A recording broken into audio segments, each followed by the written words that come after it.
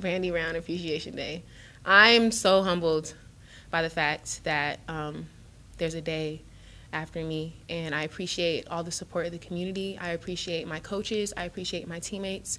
I appreciate my parents, and I just I'm so thankful for the opportunity to be here, and um, I just praise God for the opportunity to just be able to be a part of this team because I know not everybody has that chance. And Brandi Brown Appreciation Day, um, I'm just so humbled by it. So thank you to everyone.